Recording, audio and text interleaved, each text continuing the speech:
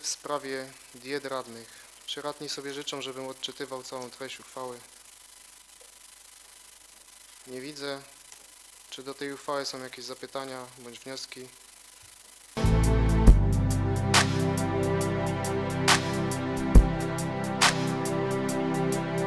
Ja mam pytanie do przewodniczącego Rady. Panie przewodniczący, jakie pan ma cele i priorytety e, pełniąc funkcję przewodniczącego Rady Gminy, skoro na drugiej sesji przedkłada pan nam projekt uchwały w sprawie podwyżek diet dla radnych?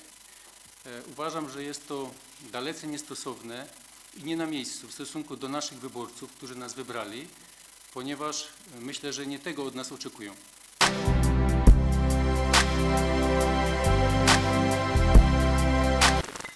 E, I uważam, że ta Rada jeszcze nic nie zrobiła, nic nie pokazała, również wraz ze mną, bo ta kadencja dopiero się rozpoczęła i uważam, że to jest po prostu dalece niestosowne, jest to jakieś pas z Pana strony, żeby na drugiej sesji podnosić sobie diety.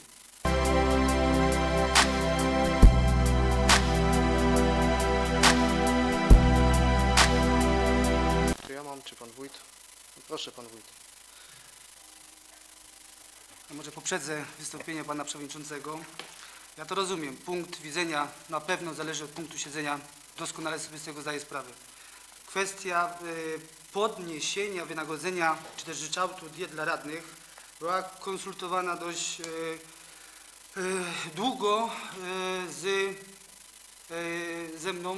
Pan przewodniczący ja jako organ wykonawczy, czyli wójt, konsultowaliśmy to.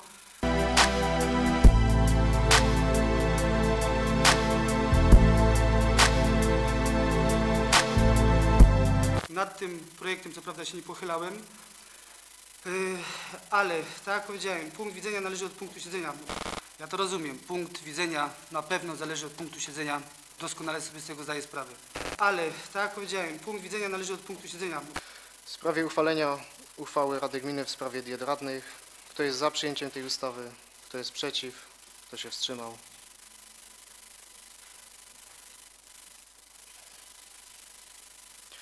Dziękuję. Stwierdzam, że Rada Gminy dziesięcioma głosami za, przy czterech głosach przeciwnych przyjęła uchwałę Rady Gminy w sprawie diet dla radnych.